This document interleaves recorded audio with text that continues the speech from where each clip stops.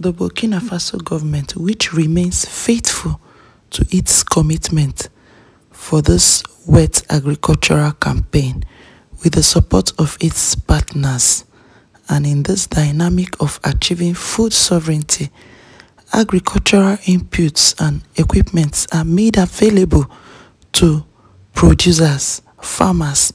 The beneficiaries do not hide their joy as they were given fertilizers, seeds, and agricultural equipments already available for the farmers and producers in the distribution sites.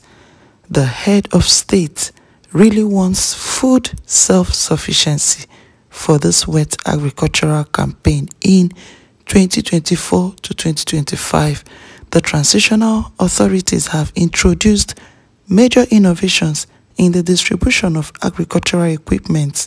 In addition to that, the state takes on all the costs linked to the management of tractors for the plowing of 2,640 hectares this year. There are committees that are set up in each village and they are responsible for identifying the beneficiaries. They make a list of the beneficiaries. The ministry provides each community with a tractor and your region will benefit from it. 11 tractors the fueling and everything is free. As of today seeds and fertilizers are already deposited at the municipality.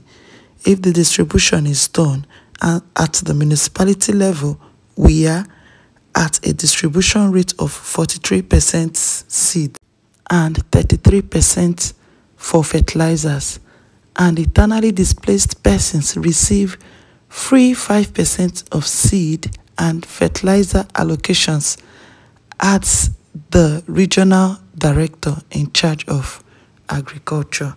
Wow, this is very good. This is very good. The head of state, Captain Ibrahim Traore, is keen and very focused with his theme of operation feed the nation. That is what me I call it. Self-sufficiency of food. He's so committed to this. Like he does a lot to support the farmers. Giving them, giving out um, equipment that will enhance productivity. Giving out seeds, giving out fertilizers. A whole lot. A whole lot. This will motivate them. This will make them work and have enough food to eat. This is commendable. Good one. Thank you so very much for your time again with me. I don't take it for granted. Hope to see you in my next as I bring your way again more trending news. Bye.